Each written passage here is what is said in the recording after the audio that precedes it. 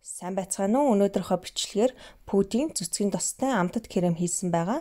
Ямар ч төрлийн тортонд хийхэд тохиромжтой байдаг. Маш гоё амттай, маш амархан крем байгаа. Заавал хийж үзээрэй. Ингээд эхэлцгээе. Орцонд маань 2 уут пудинг, 500 г цэцгийн тос, 700 мл сүү, 100 г сахар орно.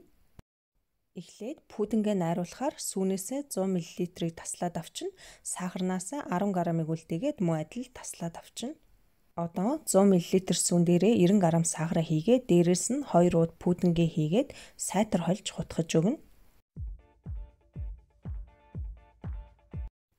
Ийм болсон байна. Одоо үлдэгдэл сүгээ нэг савнд хийгээд плеткэн дээр халаагаад дээрэс нь пудингийн зурамгаа хийгээд зөөлөн гал дээр өтгөн болтол нь хутгаж болгоно. Пудинг маань олон төрлийн амттай байдаг. Өөрийнхөө дуртай амттайг нь сонгоод хэрэглэж болно. Би энэ удаа ванилийн амттайг нь хэрэглэсэн байгаа ингэж дасралтгүй хутгах хэвээр пудинг маань ийм өтгөн болсон байна. Одоо дээрэс нь хүнсний скотчоор бүтээгээд дасгалгааны температурт 3-аас 4 цаг байлгаж хөргөнө.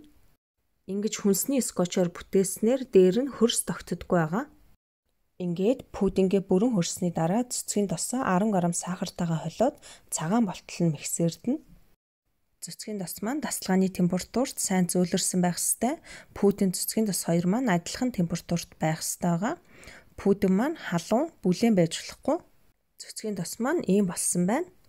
Одоо пудинг дээрээсээ скотч аваад цэцгийн досн дээрээ баг багаар хийгээд миксернийхээ хамгийн бага хурдан дээр нь крем болтол миксердэнэ.